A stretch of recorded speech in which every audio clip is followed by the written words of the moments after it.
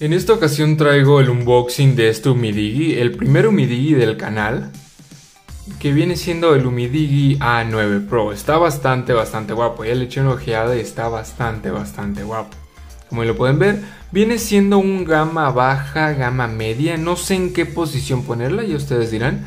Pero aún así me parece que tiene unas muy buenas configuraciones para el precio, ya que el precio de este celular es de 3.400 pesos, 170 dólares ya con envío, yo lo compré por medio de AliExpress, aquí les dejaré el link abajo y ya con envío de HL y todo me tardó 15 días en llegar y les digo, 170 dólares ya con envío de HL y todo el pedo, la neta que está excelente, muchísimo mejor que esta mierda de acá, güey.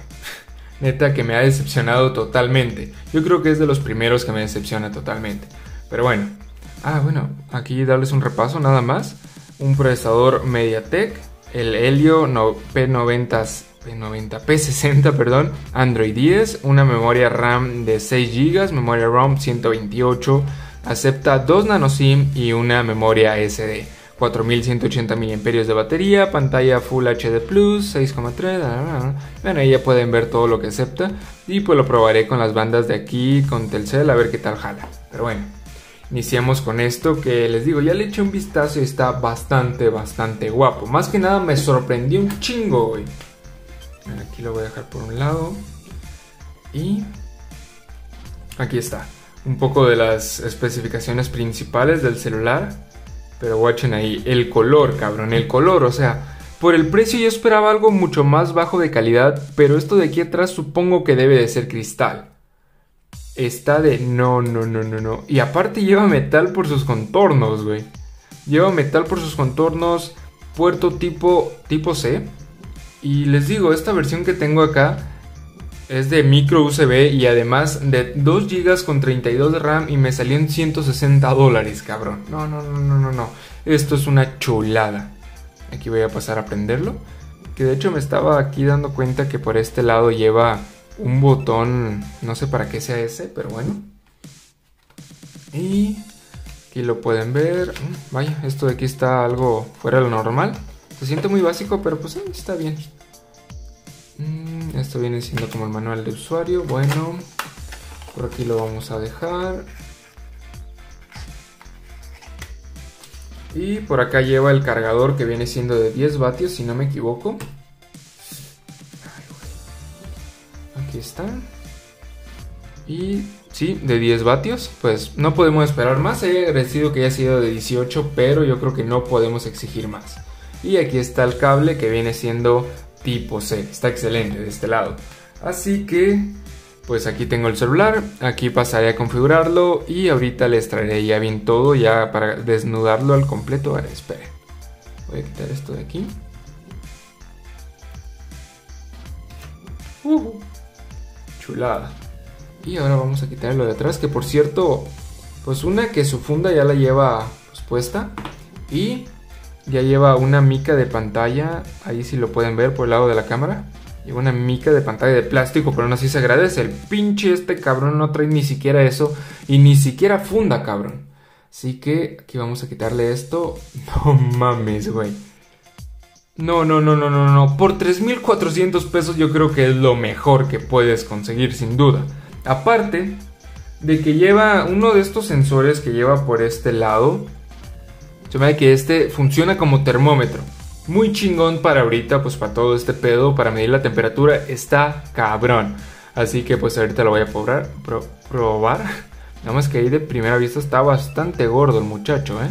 Pero está excelente, cabrón. Este acabado de aquí atrás, no, no, no mames. Está muy, muy chingón. Déjenla configuro y ahorita volvemos. Listo, ya terminé aquí de configurarlo y vaya, vaya que me ha gustado un chingo, pero más que nada en cuestión de diseño, pues ahorita no me he dado tanto el tiempo de probarlo en cuestión de software y todo este pedo.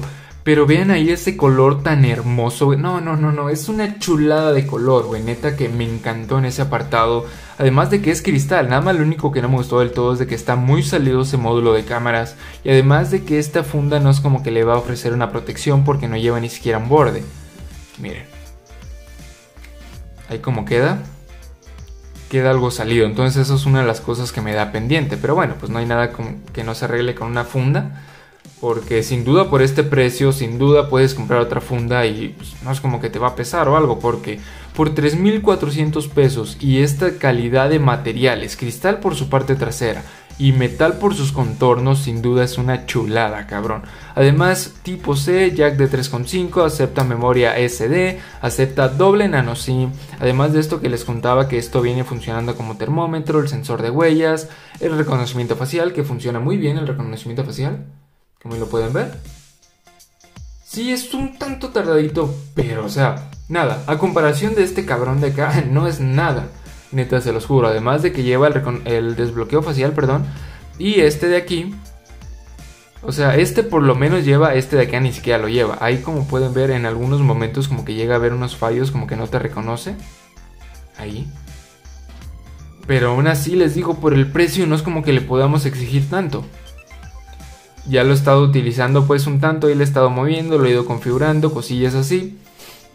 Y no he tenido que lag o que esto debido al procesador, no, porque sí, es un procesador Mediatek, pero aún así no he tenido ni un problema, o sea que cuestión de, de lag o esto como este cabrón de acá, lo vuelvo a repetir, no.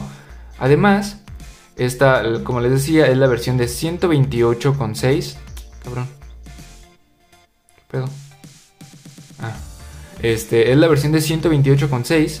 Me deja... Ah, bueno, solamente había cubierto eso cuando lo encendí, así de fábrica, 8,35 GB. En uso de 128 me deja 120 GB disponibles. Ahí lo pueden ver, libre 120. Entonces, está excelente, cabrón. Además de esto, pues de que lleva 6 GB de RAM, probará, podrá correr cualquier juego y cualquier, pues las multitarea y todo este pedo. Quizás no podrá cualquier, no podrá correr cualquier juego, aún así haré su prueba de rendimiento, lo probaré con el Fortnite, con el PUBG, con el Call of Duty, con el Free Fire, los juegos más principales de este tipo de modo de juego. Pero pues aún así, si tienen alguna duda, alguna recomendación, cualquier cosa, háganmelo saber en los comentarios, con mucho gusto los leo. Ay, por cierto, cuando lo, lo, pues, lo activé, sí, Lleva como tipo Android puro, se podría decir, en cierto modo. ¿No? Como ahí lo pueden ver, el sistema está actualizado, versión de Android 10, última comprobación, eh, actualización de seguridad de Android 5 de septiembre de 2020. Ay, cabrón. Puta madre. Una puta alarma a esta hora, güey. Que es una pinche alarma esta. Me está bien culero. Pero bueno.